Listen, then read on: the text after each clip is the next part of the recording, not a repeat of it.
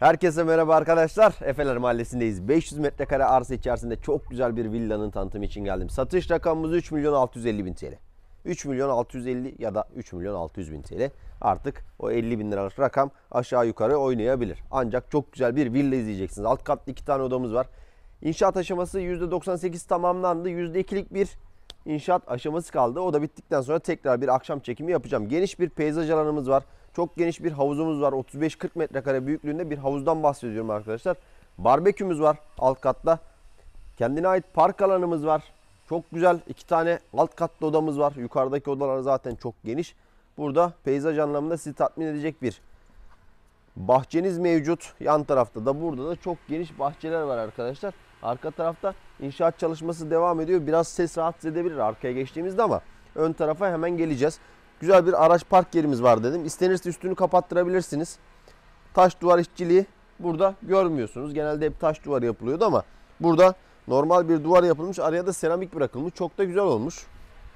Farklı olmuş diğerlerinden. Sürekli aynı şeyleri görüyoruz arkadaşlar. Burada da yeşil alan anlamında geniş bir alanınız var. İstenirse bu çimleri kaldırıp e, hobi bahçesi olarak da değerlendirebileceğiniz arka bahçeniz de mevcut. Yan tarafta da bunun aynısı var. Şunu baştan söylemek istiyorum. Satış fiyatımız 3 milyon 650 bin TL. Yan tarafın fiyatı nedir bilmiyorum. Çünkü birisi müteahhitin, birisi ev sahibinin diye hatırlıyorum arkadaşlar. Arkaya gitmeyelim. Sesler çok rahatsız ediyor. Ee, öyle hatırlıyorum. Bir ev sahibinin, bir de müteahhit firmanın diye hatırlıyorum. Fiyatlar değişiklik gösterebilir ama burası 3 milyon 650 bin TL dendi bize.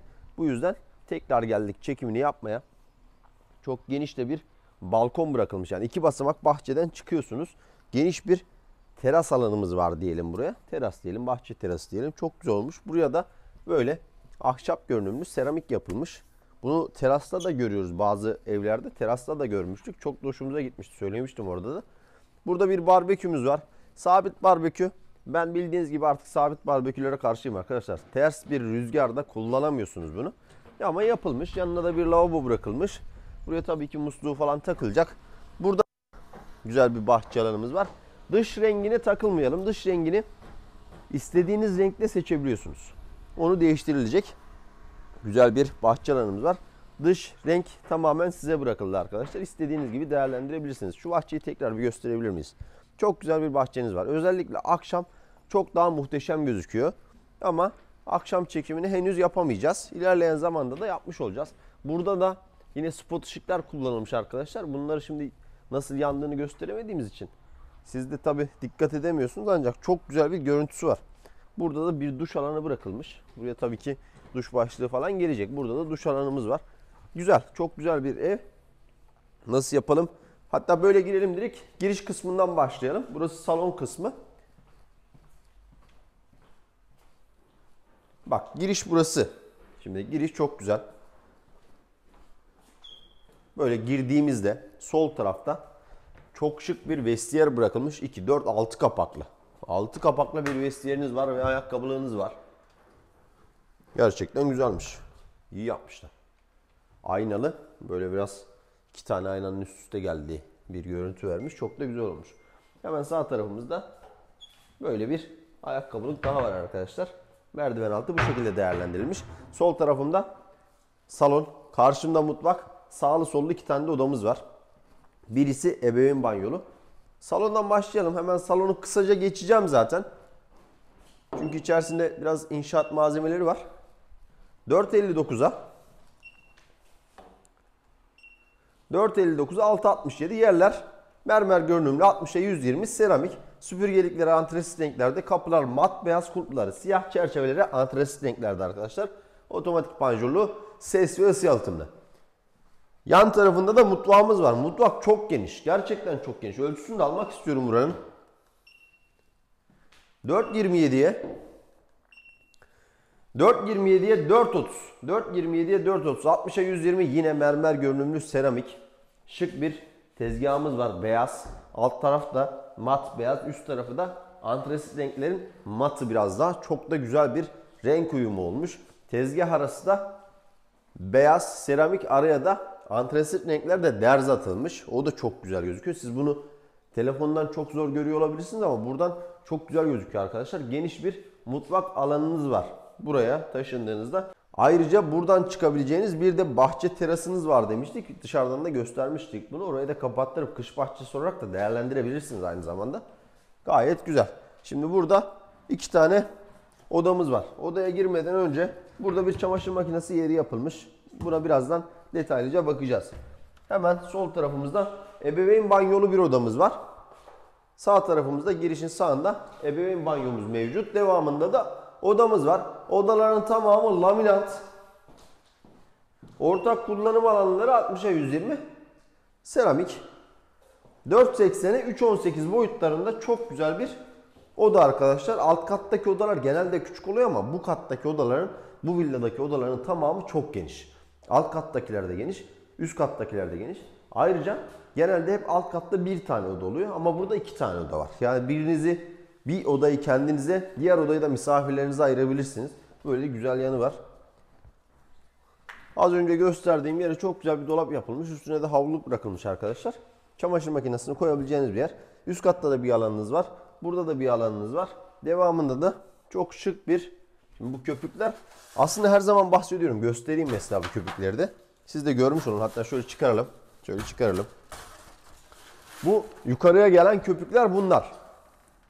Yukarıya gelen köpükler bunlar çok basit bir madde. İsterseniz hemen kendiniz bile evde değiştirebilirsiniz. Ya da birkaç tane alıp istediğiniz seçenekleri değerlendirebilirsiniz. Çok basit bir madde arkadaşlar. Burada da güzel bir duş yerimiz var. Banyo lavabomuz var. Şimdi banyo lavabonun bazı eksikleri var. Gömme rezervuar gelmemiş. Vitra marka büyük ihtimal o. Güzel bir de dolap yapılmış buraya. Kapılar lake bu arada. Ve yan tarafında bir odamız daha var. 3.64'e 3.64'e 2.92 arkadaşlar. 3.64'e 2.92 boyutlarında. 3.64'e 2.92 boyutlarında güzel bir oda. Çalışma odası olarak da düşünülebilir burası. Eğer diğer odayı kullanacaksanız. Çalışma odası da çok güzel olacaktır bence. Şu koridorun e, antrenin genişliği de çok güzel. Yani eve girdiğinizde böyle e, alışılmış dar evler gibi değil de böyle girdiğinizde bir ferahlık zaten hissediyorsunuz arkadaşlar bu antrede. Devamında da odaların geniş olması, banyo lavabonun geniş olması artı diğer alanların geniş olması tabii ki bir puan bu evi diğerlerinden öne geçiriyor. Şimdi bu katta da iki tane odamız var. Bir ortak kullanım banyo lavabomuz var. Aynı zamanda iki tane de terasımız var. Çıktığımızda yine güzel bir antre var. Antrenin hemen solunda bir teras var arkadaşlar. Arka tarafta inşaat çalışması var. Bu yüzden ben gelmeyeyim hatta Mehmet sen göster direkt. Mikrofona ses gelmesin. Çok geniş bir